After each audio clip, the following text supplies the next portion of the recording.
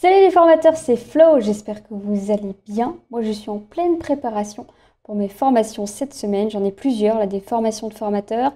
Et j'ai aussi un atelier mind mapping qui aura lieu jeudi, vendredi.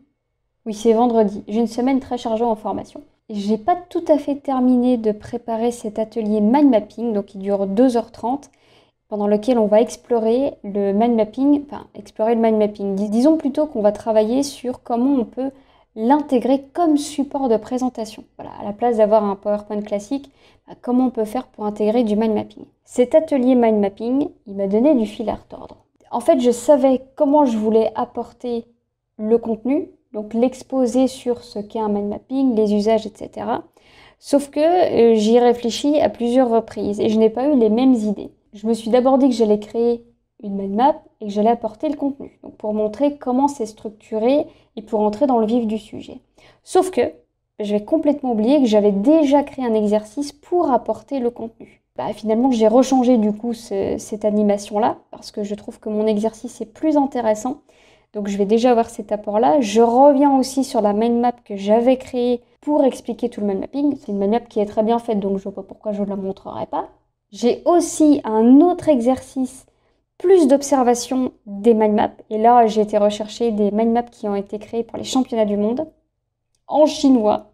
Et j'ai un dernier exercice de création. Voilà, ça c'est la page au départ que j'avais pour la couverture de cet atelier mind mapping. Même ça, ça a été un sujet presque de Discord, la page de démarrage de l'atelier mind mapping, parce que Vu qu'on est dans l'automne, j'adore ces feuilles qui sont de, toutes les couleurs. Ça amène tellement d'enthousiasme, je trouve, d'avoir plein de couleurs comme ça. Je trouve que ça amène beaucoup de joie, beaucoup d'enthousiasme. Et j'avais envie de conserver ça, même si on est sur du mind mapping. Bon, j'ai besoin de mettre des mind maps, mais j'ai aussi besoin de commencer l'atelier sur une jolie note. Voilà, sur une jolie note automnale. Donc finalement, ça, c'est la page de couverture. Et vous voyez en fait qu'il y a des petites loupes et qui vont nous emmener au fur et à mesure de, cet atelier. Est-ce que je peux montrer le programme? Voilà, le programme il est là.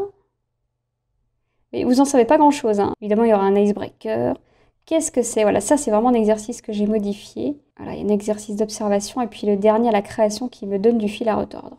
Et pour cette création, soit je pars sur prenez une feuille, un stylo et on va s'exercer. Donc pour quelqu'un qui n'a jamais pratiqué le mind mapping, je trouve que c'est très bien quand même de commencer avec simplement un papier et des stylos.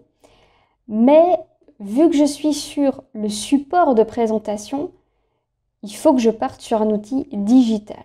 Et là, euh, commencer un sacré travail de recherche.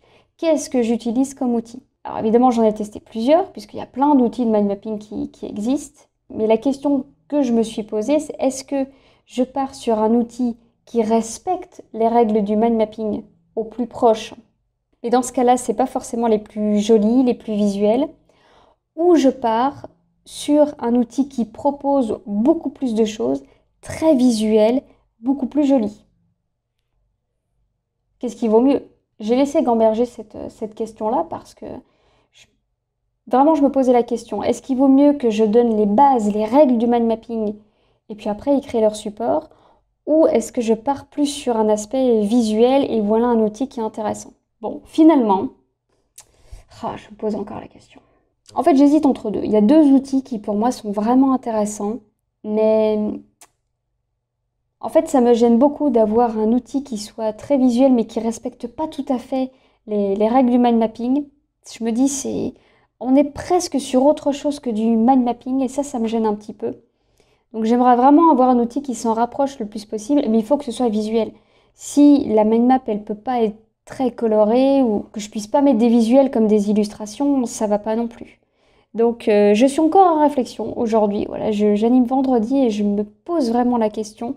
Pour moi, il y, a vraiment deux outils que j'ai notés, voilà, qui sont dans mon dernier exercice et je ne sais pas encore lequel je vais utiliser. C'est pas toujours évident hein, de créer des ateliers, surtout quand ils sont courts comme ça, 2h30. Il faut euh, vraiment aller à l'essentiel et, moi j'ai besoin de, donner un maximum d'informations, oui, mais surtout un maximum de pratique. Je veux que quand les formateurs viennent dans mes ateliers, ils puissent se dire, ok, c'est bon, à la fin de l'atelier, je suis capable d'utiliser le mind mapping comme support de présentation. Voilà, mon but, il est là. Donc je veux qu'on pratique, je veux qu'il y ait de la réflexion, et puis bien sûr que mes formateurs soient contents. Comme quoi, hein, mais vous voyez comme quoi les, intentions et les objectifs pédagogiques, c'est vraiment, vraiment important. Sans cette base-là, bah, on peut partir dans tous les sens. Et vous voyez, rien que les, exercices que j'ai pu modifier, bah, je me suis reposé cette question, c'est quoi mon objectif? Qu'est-ce que je veux faire? Quelles sont mes intentions? Voilà, mon cap, il est là. il faut surtout pas que je dévie. Et en allant tester plein d'outils, je suis en train de dévier. Alors que non, il faut vraiment que je revienne à la base. Je veux que les formateurs puissent utiliser le mind mapping comme support. Et donc, on va utiliser un outil qui ne respecte pas tout à fait. Voilà, il y a des choses qui, ne respectent pas les règles du mind mapping, mais en tout cas, ça va apporter de la variété dans les supports de formation. Et ça, pour moi, c'est vraiment le plus important. De sortir du, du, PowerPoint ou, des slides qu'on va retrouver. il y a des slides avec du texte. Bah non, il ne faut pas qu'il y ait plein de texte. Il faut qu'il y ait du visuel. Il faut que les apprenants, quand ils voient le support, ils puissent se dire Ok, c'est bon, je peux mémoriser tout le contenu à partir d'une seule carte mentale. C'est une sacrée promesse. Mais ça fonctionne. À travers cette vidéo, j'ai voulu vous montrer toute la réflexion qu'il pouvait y avoir et aussi la préparation qu'il pouvait y avoir derrière une formation ou un atelier, si simple soit-il. C'est important de pouvoir bah, réfléchir, comme je le disais, aux objectifs, aux intentions, mais aussi de tester les outils, de se dire est-ce que l'outil, je le maîtrise moi Est-ce que je suis capable de le montrer aux apprenants? Mais aussi, eux, vont-ils être capables de l'utiliser? C'est ça aussi la réflexion que j'ai pu avoir. Est-ce que c'est un outil qui est suffisamment ergonomique pour pouvoir le prendre en main en quelques minutes? Et ça, ça fait partie de la préparation des formations et des ateliers. Après va arriver la phase de test. Donc cette phase de test-là, je vais faire comme si j'allais animer. Je vais ouvrir mon support, le dérouler comme si j'allais l'animer. Et c'est là généralement où je vois quand les liens ne, se font pas. Comme vous le savez, j'utilise Geniali en support de formation. Et quand je clique sur un lien, est-ce que le bon lien s'ouvre? Est-ce que ça redirige bien vers la bonne page? C'est généralement là où il faut, euh, il faut réajuster des petites choses. Et puis parfois, ça me donne d'autres idées aussi, où je me dis finalement, ça, ça collerait peut-être mieux. Et je vais faire quelques petits micro-ajustements. Et je vais faire comme ça différentes phases de test. Et puis une fois que tout est prêt, eh bien, il n'y a plus qu'à.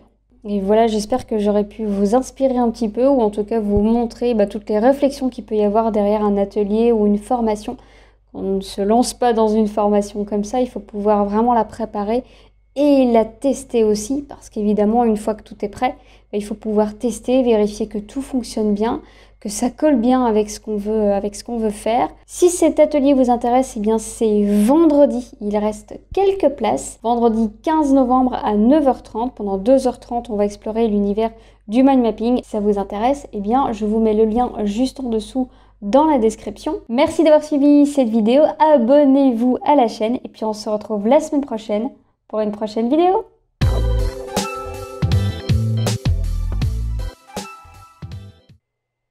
Je suis en train de préparer quelque chose ici. Voilà, je suis en plein tournage et j'aurais hâte de vous le montrer. Mais ne dites rien, de toute façon, vous ne voyez pas très très bien ce que c'est, n'est-ce pas? Gardez-le pour vous.